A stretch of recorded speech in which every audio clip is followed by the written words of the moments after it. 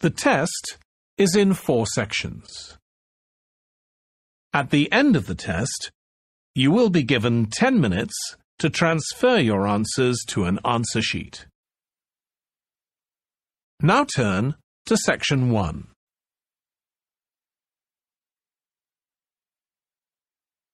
Section 1 First, you have some time to look at questions 1 to 5.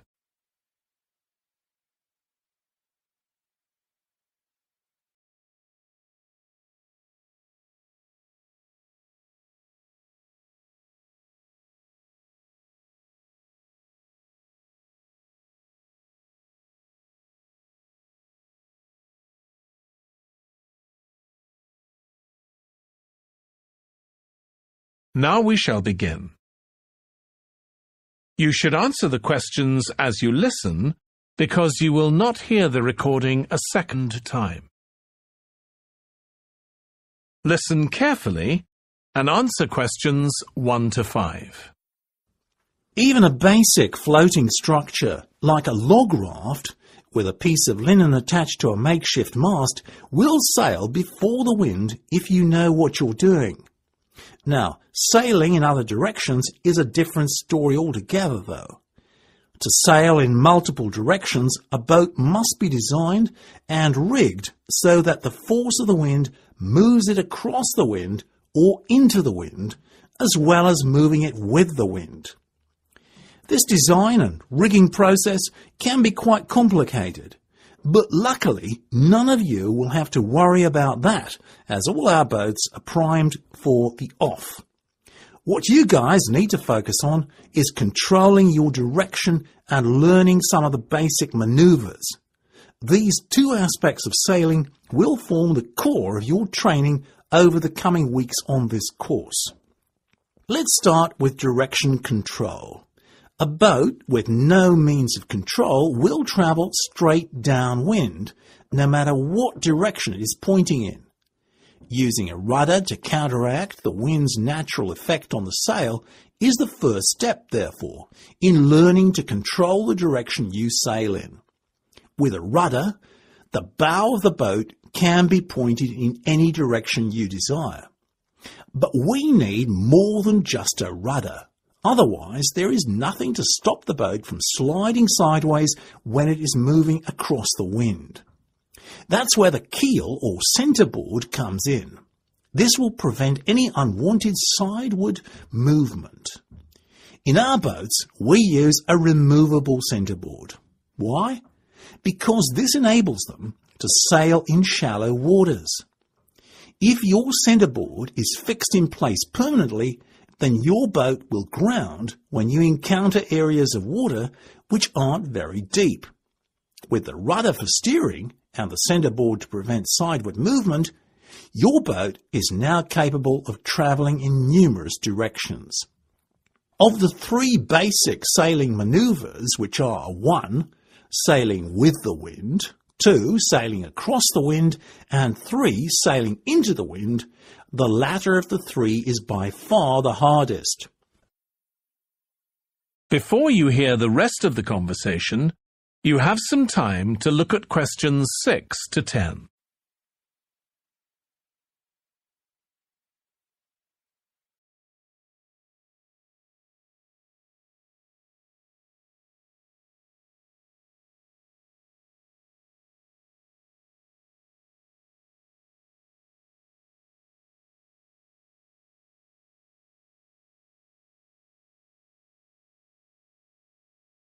Now listen and answer questions 6 to 10. Sailing into the wind is called tacking to windward. In reality, no boat can actually sail directly into the wind. If it does so, its sail will start to flap and become useless. That's where tacking comes in. Boats sail upwind by following a zigzag course. You can generally head to within 45 degrees of the wind direction before your sail starts to flap. And this is what we aim to do when we tack. Because the wind seldom blows with the same force and in the same direction consistently, sailing into the wind requires great skill.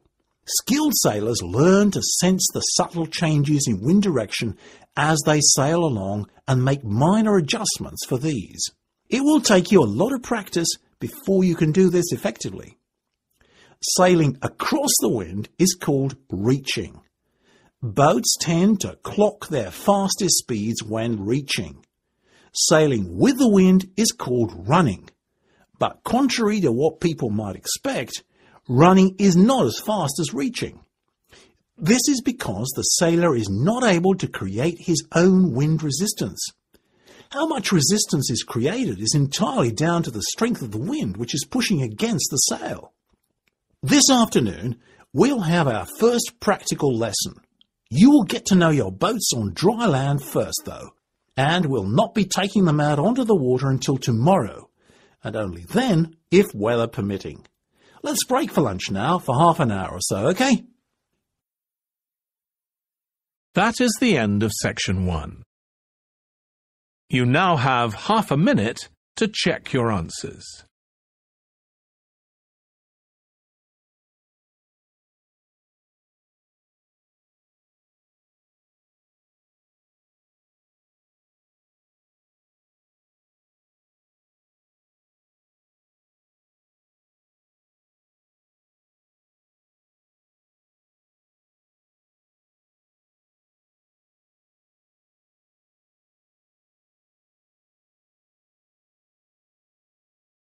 Now turn to section 2.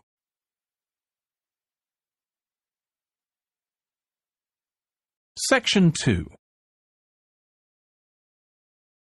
First, you have some time to look at questions 11 to 18.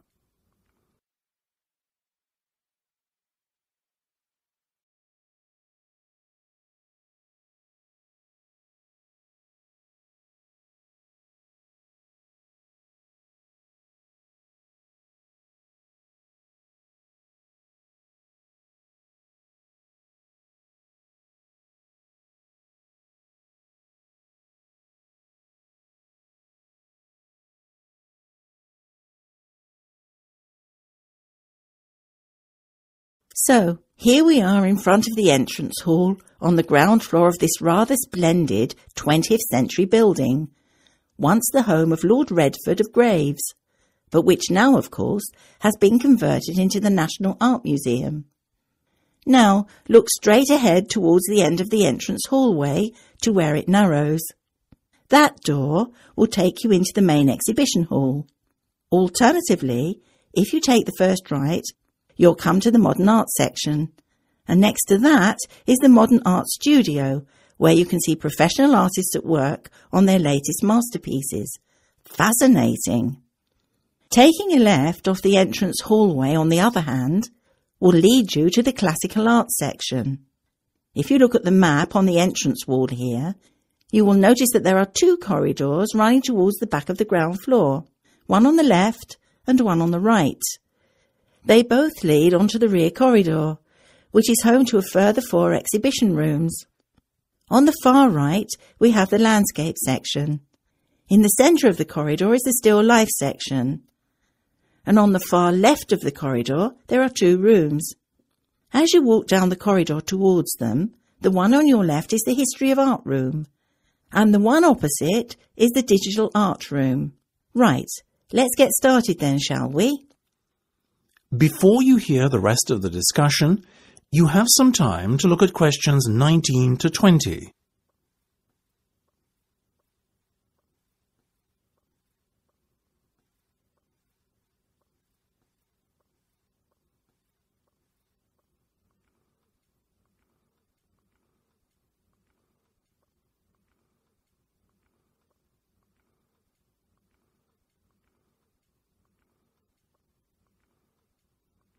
Now listen and answer questions 19 to 20. Our first port of call will be the digital art room down at the end. This exhibition has been open little more than a month, but has proved hugely popular with visitors so far. It is an interactive exhibition space, and visitors are encouraged to touch and feel the exhibits to their heart's content. Though, of course, I shouldn't need to remind you that this is forbidden in the rest of the museum, as is the use of cameras. So please ensure that you do not take any pictures once you leave the digital art room. That's the end of section 2. You have half a minute to check your answers.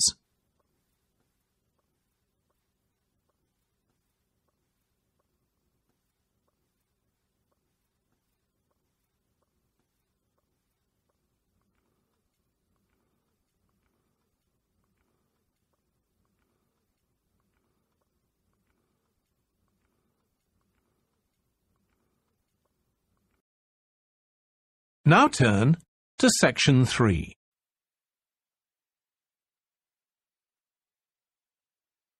Section 3. First, you have some time to look at questions 21 to 25.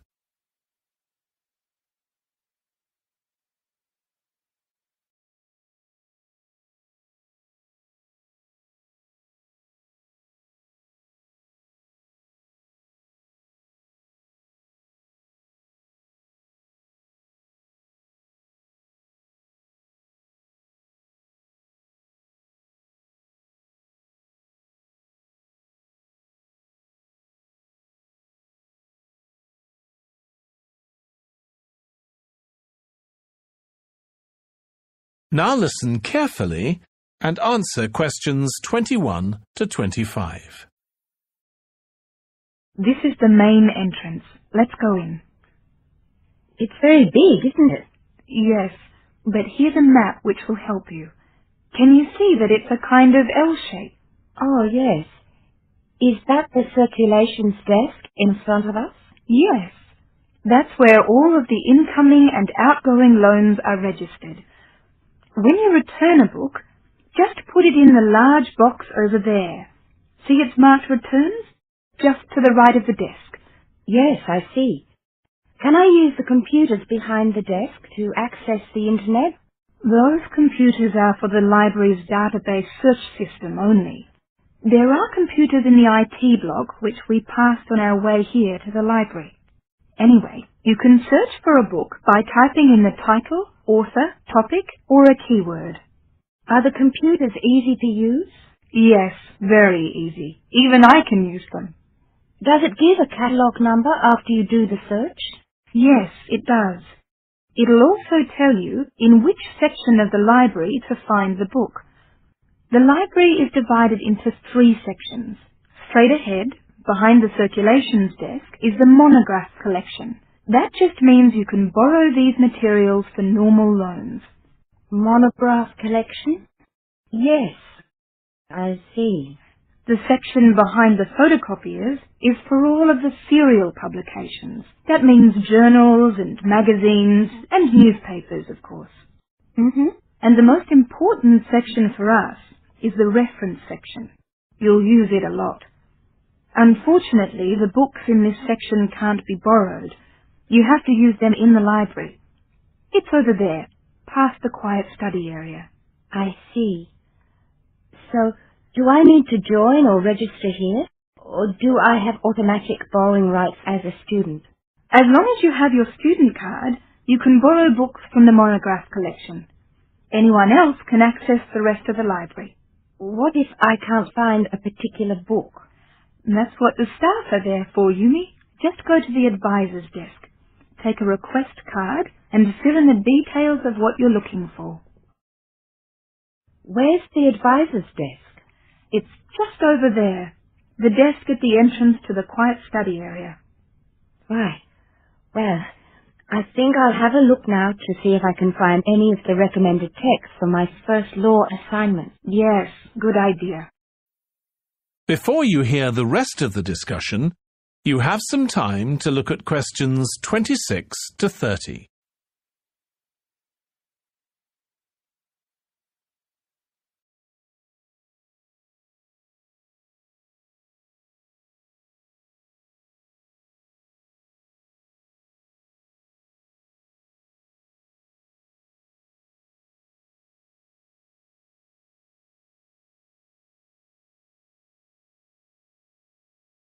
Now listen and answer questions 26 to 30.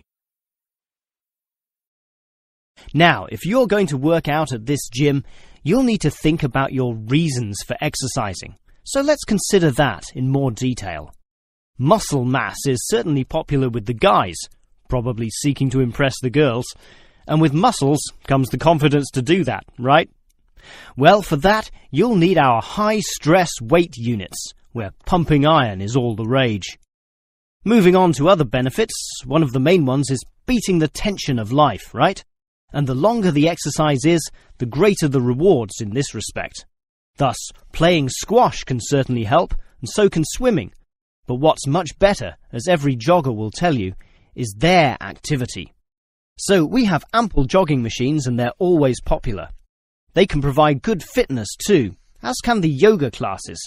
However, again, let's not forget playing squash, which I would say is the optimum way to improve your general well-being. Such an active, energetic game, plus the competitive element, drives you forward into high levels of health and fitness. These, of course, are the ultimate purposes of being here, but remember, the centre is full of like-minded people, all of whom are interesting to meet and valuable sources of information. The yoga classes have a pre and post meeting session, so you'll certainly meet others there, although they'll all be yoga enthusiasts, which limits the range somewhat. But whether doing yoga, swimming, or exercising, everyone showers, right? So those facilities are where you'll hear all sorts of interesting conversations and really get to know people. Not like the front desk area, which is mostly empty as patrons go immediately inside to do their exercise. Of course, the front desk can answer all your questions and has information brochures and such like, but for knowing more about a greater variety of subjects and community concerns, look at the notice board in the yoga studio, where there's a huge array of papers, leaflets and articles, all for you to read and consider. That is the end of section 3. You now have half a minute to check your answers.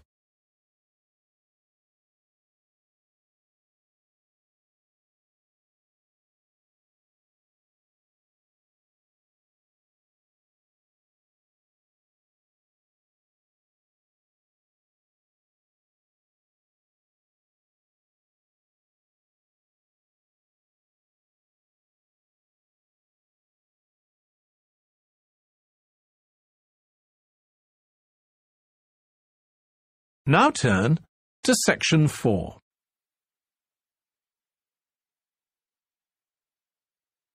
Section 4. First, you have some time to look at questions 31 to 40.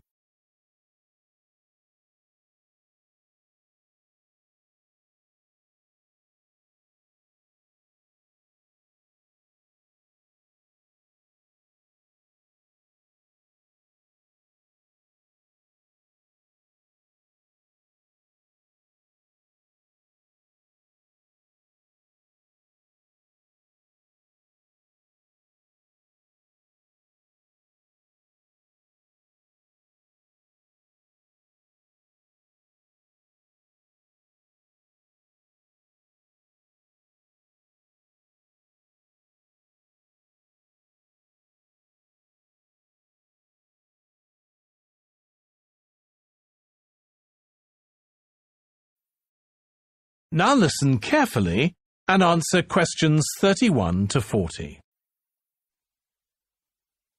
Good morning, everyone. I've been invited to talk about my research project into Australian Aboriginal rock paintings.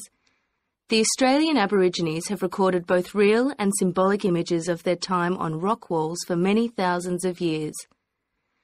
Throughout the long history of this tradition, new images have appeared and new painting styles have developed and these characteristics can be used to categorize the different artistic styles. Among these are what we call the dynamic, yam, and modern styles of painting. One of the most significant characteristics of the different styles is the way that humans are depicted in the paintings. The more recent paintings show people in static poses, but the first human images to dominate rock art paintings over 8,000 years ago were full of movement. These paintings showed people hunting and cooking food, and so they were given the name dynamic to reflect this energy. It's quite amazing considering they were painted in such a simple stick-like form. In the Yam period, there was a movement away from stick figures to a more naturalistic shape. However, they didn't go as far as the modern style, which is known as X-ray because it actually makes a feature of the internal skeleton as well as the organs of animals and humans. The yam style of painting got its name from the fact that it featured much curvier figures that actually resemble the vegetable called a yam, which is similar to a sweet potato. The modern paintings are interesting because they include paintings at the time of the first contact with European settlers. Aborigines managed to convey the idea of the settlers' clothing by simply painting the Europeans without any hands, indicating the habit of standing with their hands in their pockets. Size is another characteristic. The more recent images tend to be life-size or even larger, but the dynamic figures are painted in miniature. Aboriginal rock art also records the environmental changes that occurred over thousands of years. For example, we know from the dynamic paintings that over 8,000 years ago, Aborigines would have rarely eaten fish and sea levels were much lower at this time. In fact, fish didn't start to appear in paintings until the Yam period, along with shells and other marine images. The paintings of the Yam tradition also suggest that during this time, the Aborigines moved away from animals as their main food source and began including vegetables in their diet, as these feature prominently. Freshwater creatures didn't appear in the paintings until the modern period from 4,000 years ago.